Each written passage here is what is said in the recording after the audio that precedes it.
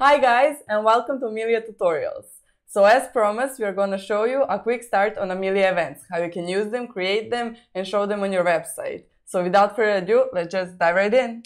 Okay, so we've covered creating recurring and multi-day events in the past video. You can check that out in our profile. Uh, we'll create a simple event right now. So assuming you guys downloaded and installed Amelia, when you go to Amelia events, click on new event and add uh, an event name. For example, Evolution 101 We'll use the same name from the previous video and we'll set that event to be an event from Thursday to Friday, August 4th and 5th from 8 a.m. until 11 and this is it. So if you created an employee, you can select the employee here, but that's not mandatory for events.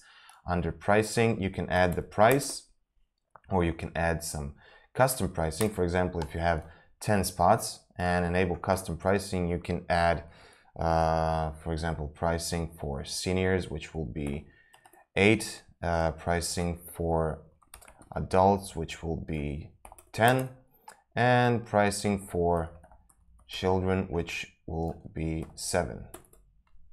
That's basically it. If you configure maximum allowed spots to be 10, uh, until 10 people from each any category is booked, uh, there will uh, there will be spots to book. If this is disabled, you can configure individual spots. For example, there are only five spots for seniors, uh, five spots for adults, and three spots for children. So again, if we enable maximum allowed spots, a uh, maximum of 10 people, regardless of the category, will be able to book. Now, when we save this, we see this event, which will happen on two dates. And what we need to do is add it to the front end page.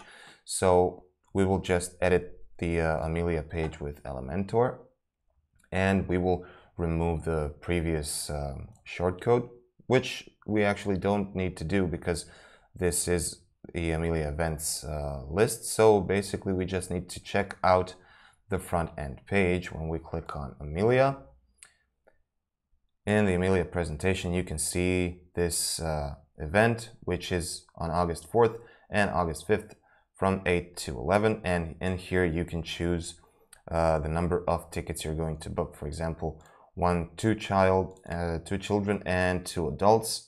Continue. Uh, this is using my login credentials, uh, actually username since I'm logged in as admin. So we can use Amelia test this is okay. And that's it. We confirm and we've booked the event.